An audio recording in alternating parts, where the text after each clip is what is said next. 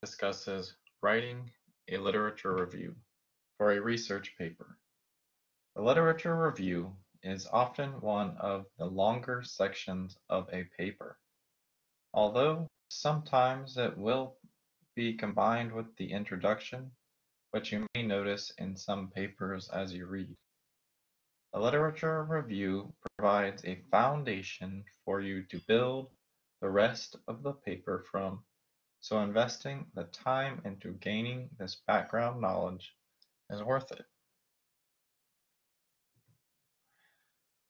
When you begin to write this section of the paper, you will have already completed your annotated bibliography, so most of the work for gathering sources should be done. What you may find is that you have identified a specific source for your data or a specific methodology you plan to use so that it isn't completely outlined in the initial papers you found. And you will need to find papers that do outline those topics. Although that may end up in the introduction or methodology instead. When conducting research, it is easy to go to one source. However, you need to include a variety of sources in your research. Do not use one source over and over. Other papers have likely said similar things, and you broaden your paper and yourself by using more sources. Make sure all sources are current unless they are a landmark study, like the first person to say something and you wish to present the historical track of your topic. Sometimes it is necessary to look beyond peer-reviewed journal articles, although too much of this is not encouraged for this paper. However, you may continue writing or you may be writing on a cutting-edge topic with little published and you need to look further. For instance, I have been working on research using text mining in video game forums, and not much is published on the topic. I then had to look online for information and statistics. In that case, evaluating your sources is very important. You can evaluate your sources using the following questions. For author, who is the author? Why should I believe what he or she has to say on the topic? Is the author seen as an expert on the topic? And how do you know? Current. How current is the information in the source? When was the source published? Is the information out of date? Finally, accuracy. Is the content accurate? Is the information presented objectively? And do they share the pros and cons?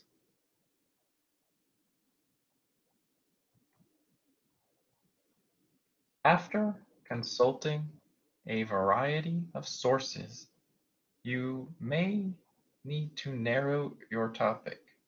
For example, the topic of internet safety is huge, but you could narrow that topic to include internet safety in regards to social media apps that teenagers are using heavily.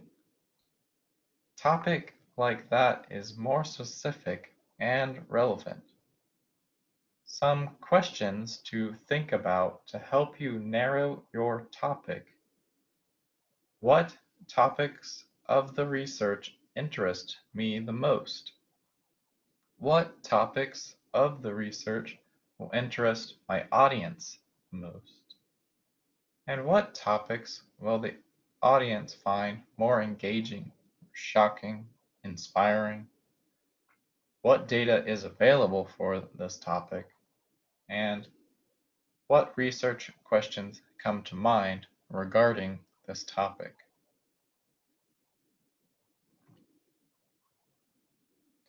Now that you have narrowed your topic, you will want to organize your research in a structure that works. There are some common organizational patterns based on the kind of research you are doing. You can create a literature map another type of organizational document, but often creating a visualization of how you see the literature relating is helpful to organizing the structure of your literature review. The organizational structures we will discuss are chronological, thematic, methodological, and theoretical. This is not something you will submit. It is just to help you visualize how the information goes together. For example, returning to the online health communities example, research could be sorted into categories based on disease, like cardiovascular disease, depression, etc., or sorted into communities used by the patients themselves or those used by caregivers. As you read, I encourage you to write down the points in the papers that stand out to you and then list them with other papers that make the same point. It can be in a chart, table, a list. It does not have to be a graphic as shown here, but you really should sort the papers by the point you want to make. Some papers will make more than one point that you wish to highlight. For instance, one paper could state a fact you want to cite and use a methodology you want to use, and also outline a literature gap that you are addressing. You could then sort that paper into three categories and then utilize that paper in those three sections of your paper. No matter how you do it, organizing your information makes the writing go much faster, more smoothly, and generally improves the readability of your paper.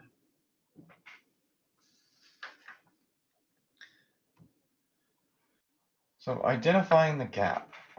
As you read the background literature, what you are looking for is research that has not been done. What question hasn't been answered? It may not be a large gap. Maybe someone looked at participation in online health communities for depression, but no one has looked at online communities for parents of children with genetic disorders. That is a gap in the literature.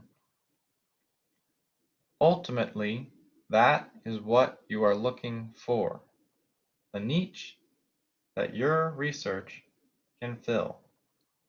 In the introduction section of your paper, you will outline this gap and then return to explain it more fully here for now, it is just important to identify it and mention it. Structure. There are many ways to structure your literature review. If you search online, you will find far more than we are going to discuss here, but I am choosing to highlight these because I think they are most likely to be useful to you for this paper. Normally, you will use only one of these styles, but it is possible to use a combination of them. Theoretical is the most professional for a researcher, and while writing your dissertation will likely be the most useful to you because it is easy to make longer by bringing in research from that theory. When writing your literature map, it will likely be sorted by concepts, so that is probably the easiest method, although not the most convincing or professional. So let's look more at the other formats closely. The chronological approach traces the topic over time.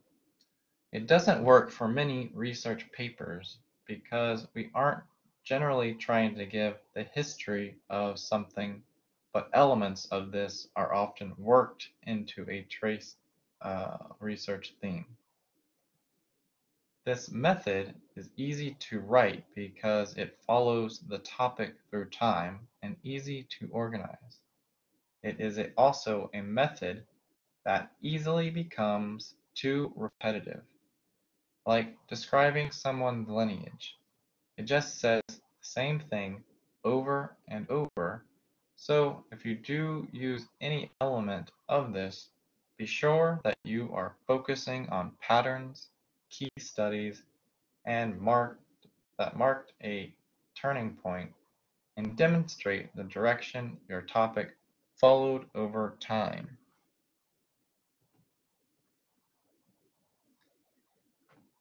In completing the annotated bibliography, you may have noticed several themes in the papers you read. This is a good way to organize the literature review of a research paper because you can pull in the themes plan to use in your research and thoroughly discuss them, setting the stage for your research. While this method is easy to organize and write, it is important you think it through to the end before you start it, which really is true for any type of literature review. You would not want to introduce a theme that your research does not later address.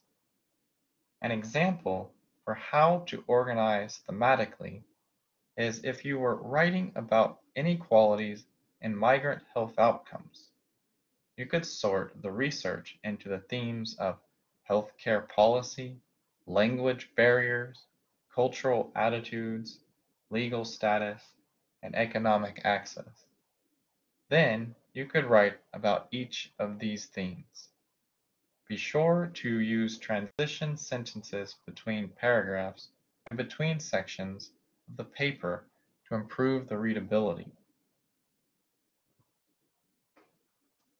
Methodological. This is another good method for a research paper because it highlights the research method used and makes it easy to find and highlight gap in the literature.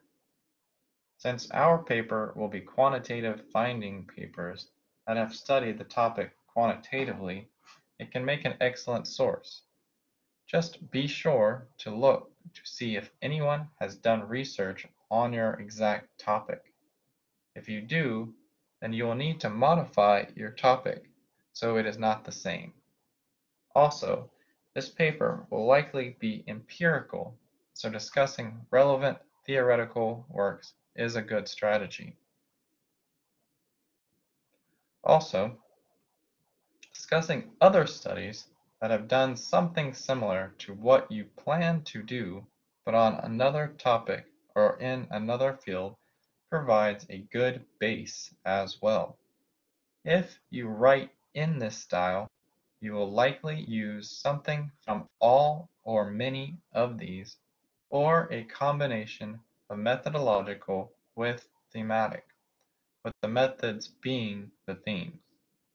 You can also look at studies in sociological, historical, or a cultural setting, but it may be more useful to look at the business type. If you were looking at a type or specific benefit or drawback of social media, you could look at restaurants, banks, and retail to see the applications in each setting. A theoretical approach to the literature review is common in research papers to provide a theoretical foundation for your research. If you choose this method, you will choose one or more theories or models to structure your research design around. This is a very formal way of writing, and more research is moving away from this method, but it's still a very valid method. It is likely the most difficult method, but it makes later sections of your paper easier because you have already outlined a model and a theory, which you draw from later. For any of these methods, I encourage you to look at the papers you are reading and determine what method or methods they used and then determine how these types of literature reviews will best suit your paper. The literature review will be submitted on its own to highlight that it should be able to be read on its own, but then also fit within the research paper. With this in mind, it needs to have an introduction, body, and conclusion. It should summarize and synthesize, giving an overview of the main points of each source, and then presented it as a cohesive work. You should not just be paraphrasing other researchers. You need to add your own interpretations of what you are reading when possible. You should present the significance of the findings as they relate to the field as a whole. You should be evaluating the research you are reading, highlighting their strengths and weaknesses throughout this section. Before completing this section, and any section of the paper, you need to read it over carefully to make sure it is proper. Paragraphs should be a proper length, although longer is usually fine if they need to be, but need transition sentences and topic sentences should be used to make a cohesive paper. Make sure your spelling, grammar, and sentence structure is good as well. All references should be on a separate page or pages at the end of the section, which will later be integrated with the entire reference list. Be sure it is in proper APA format. Does not count toward the total page length. Something is cited in the text, it must be in the reference list. And if it is in the reference list, it must be cited in the text. This section should have at least 10 references. The font should be Times New Roman 12 point. It should be double spaced with 1 inch margins. The title should just be Literature Review since it's just a section of the paper. You do not need a title page. This section should be 3 to 5 pages, not counting the references. This is likely going to be the longest section of the final paper but that may depend on the direction your research takes.